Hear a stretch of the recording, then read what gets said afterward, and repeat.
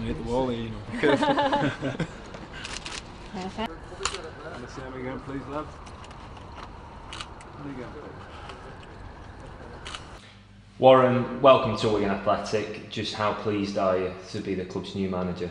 obviously delighted to get the opportunity. You know, uh, you, you've had dreams of things that you'd like to do in your, your footballing career, and I just think it seems a good fit. Really, you know, all the plans that I want to do, all the the ambitions that I've got, you know, seem to match in with with the chairman's ambitions as well. So hopefully we can, you know, fulfil some of the ambitions that we've got. Warren is, is, is the manager and the coach that is perfect for what we at the club right now.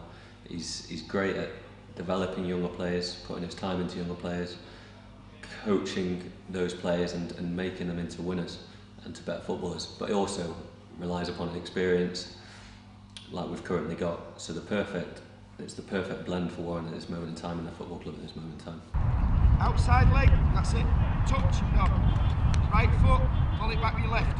That's it, off you go. You, you took training this morning after the move was announced last night. How was training and, and what have you had to say to the players? Yeah, obviously you're straight in there. You, you want to make as much impact on your team. You've got a clear idea of how I want teams to play under me.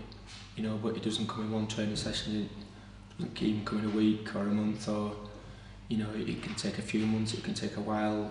But certainly this morning they were very receptive to the things we asked them to do. I thought they were bright, very enthusiastic, energetic, and there was some good quality as well. We'll just talk about Reading this weekend, the visitors to the DW. Have you seen much of them through the games you've been watching in the Championship? Yeah, recently? obviously they, you, you know they've got some quality players and they like to pass the ball around. You know they've got obviously I, I know Jaap Stam we've we played a few games against Ajax you know last season so you know what his philosophy will be. You know and they've got players that can do that that he's worked on for a while. You know and they were having good success doing it so you know we've got problems in dealing with that and then we've got to give them problems when we have the ball.